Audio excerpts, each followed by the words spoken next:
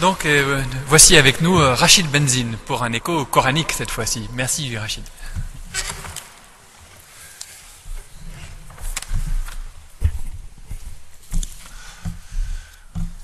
Donc euh, cette cinquième veille, en ce qui concerne les cultures et Olivier, vient de nous parler justement de la petite éthique des religions après nous avoir parlé de la clôture et de l'ouverture.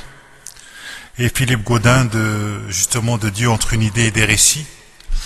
Ce qui me semble, me semble-t-il fondamental dans cette question des, cultures, c'est bien de ne pas oublier que nos religions sont avant tout des cultures.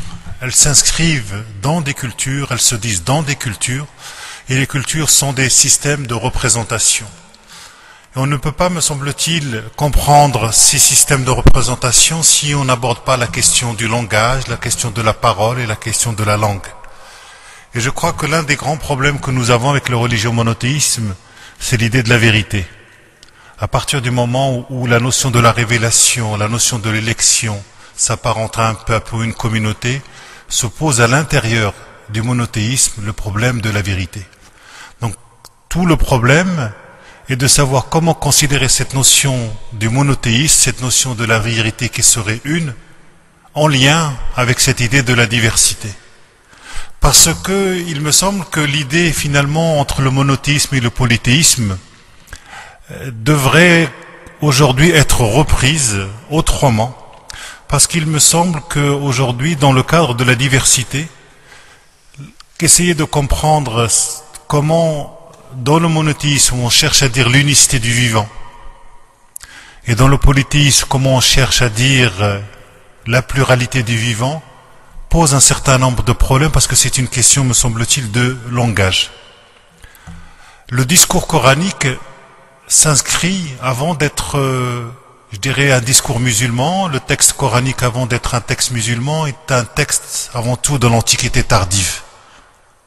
Il s'inscrit dans l'Antiquité tardive, il conteste certains présupposés théologiques du christianisme, il conteste certains présupposés du judaïsme, mais en même temps, s'il est en rupture, il est dans la continuité de la révélation.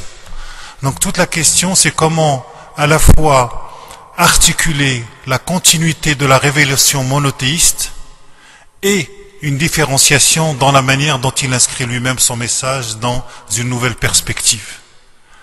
Claude Lévi-Strauss prenait cette définition en disant que le mythe est un palais idéologique construit à partir des gravats d'un discours social ancien. Le discours coranique construit un nouveau palais idéologique avec des gravats de ce discours social ancien qui s'inscrit dans l'Antiquité tardive et dans toutes les mémoires collectives. Et toute la problématique aujourd'hui, me semble-t-il, dans cette religiosité identitaire que nous voyons, c'est de bien montrer qu'à l'intérieur d'une tradition islamique, il y a plusieurs traditions. Si vous prenez par exemple la tradition islamique, du moins sunnite, vous avez au moins quatre écoles juridiques. Si vous prenez l'islam chiite, vous en avez encore trois autres. Et vous voyez, toute cette pluralité-là, aujourd'hui, c'est quelque chose qui nous manque. Le discours coranique, justement, essaye d'aborder toutes ces questions de comment Dieu qui est un, et la vérité qui est une, comment aborder cette question de la diversité? Il me semble, moi qui n'aime pas trop citer les versets du texte coranique, parce que il me semble qu'on ne peut pas euh, les utiliser comme ça pour appuyer un élément sans les inscrire dans le contexte littéraire, sans les inscrire dans les genres littéraires, sans les construire dans tous les présupposés de l'historicité, etc. Je vais vous en citer quand même un qui dit, si Dieu l'avait voulu, il aurait fait de vous une seule communauté mais il a voulu vous éprouver par ce qu'il vous a donné, chercher à vous surpasser par les actions de bien, et Dieu vous informera un jour sur vos divergences. Je pense que si on peut essayer de, de, réfléchir à, à l'écho que peut avoir justement cet élément-là, c'est justement de bien comprendre que la différence, la diversité n'est pas quelque chose qui relève de l'homme, c'est quelque chose qui relève d'un au-delà de l'homme.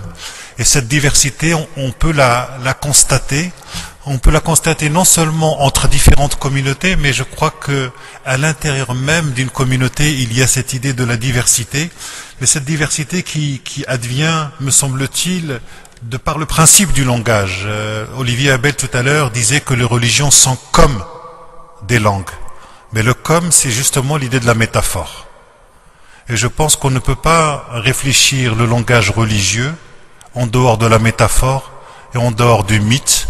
Et c'est peut-être ça qu'il s'agit aujourd'hui, me semble-t-il, de retrouver la métaphore qui essaye de dire, hein, qui essaye, qui a une fonction à la fois d'innovation sémantique, comme le dirait Ricoeur, mais qui a aussi une fonction heuristique, c'est-à-dire qui est capable de poésis. Et je pense que les religions ont cette capacité de bouleverser les imaginaires, mais parfois l'imaginaire déborde trop sur la violence, et je vous remercie.